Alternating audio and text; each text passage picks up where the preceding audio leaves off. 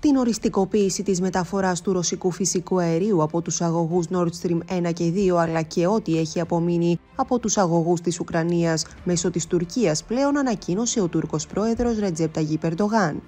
Η εξέλιξη είναι κοσμοϊστορικής σημασίας, καθώς η Τουρκία παίρνει τα μοναδικά κλειδιά του ρωσικού φυσικού αερίου για την Ελλάδα αλλά και την Ευρώπη. Οι λοιπές ποσότητες του αμερικανικού LNG και του αζερικού φυσικού αερίου ούτε για ζήτο. Μόλις και με τα βίας καλύπτεται το 25% των αναγκών μας σε φυσικό αέριο με τιμές μέχρι και εξαπλάσεις από τις προϋπάρχουσες.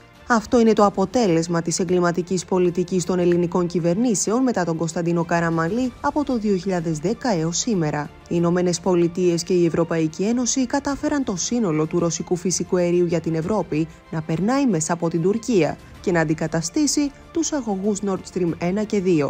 Αυτό είναι τεράστια στρατηγική ήττα της Ελλάδας, η οποία έρχεται σε ακολουθία του εγκλήματος του South Stream. Σε ομιλία του προς τα μέλη της κοινοβουλευτικής ομάδας του κομματός του, του ΑΚΕΠΕ στο τουρκικό κοινοβούλιο, ο Τούρκος πρόεδρος Ρετζέπτα Περντογάν είπε ότι όχι μόνο η Τουρκία θα γίνει κόμβος, αλλά και ότι η Ευρώπη θα μπει στη διαδικασία να προμηθευτεί από εκεί το ρωσικό φυσικό αέριο, τονίζοντας πως το είπε και ο Βλαντιμίρ Πούτιν.